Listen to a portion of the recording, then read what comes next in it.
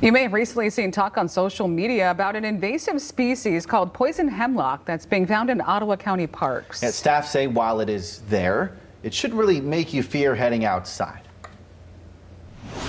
Poison hemlock has actually been out here in Ottawa County parks for about the past 10 years. And while it can be dangerous, park staff say it's well managed and poses very little risk whatsoever to those out here enjoying the beauty of nature.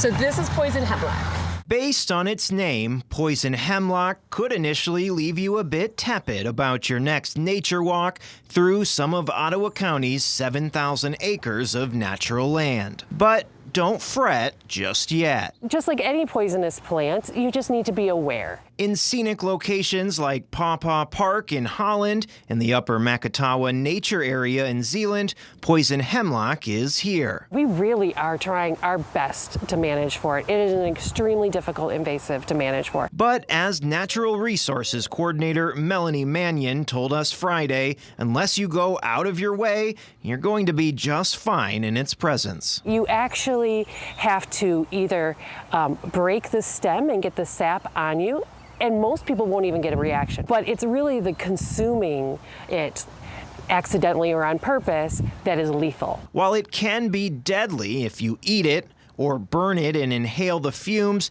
brushing up against it shouldn't cause any sort of reaction. So going to our parks, which have a lot of poison hemlock, unfortunately, isn't a threat. And the properties that we have it, we do mow them extra wide so that it's not falling into the path. There is more of it this year than in years past. Walking through Paw Paw Park, you will see it, some upwards of six feet tall with little white flowers. We have been watching it spread throughout Michigan um, by the highways. And I believe personally in our properties, it's spreading by the rivers. With just three full-time seasonal staffers, Ottawa County Parks manages roughly 50 invasive species, so if you happen to run across a small patch on your next walk, don't pick it, eat it, or burn it, and keep your pets away from it, and there should be nothing to worry about. Most people learn about poison ivy very young, and yet we still go out and camp, and we still go out and fish. We just know what to be prepared for.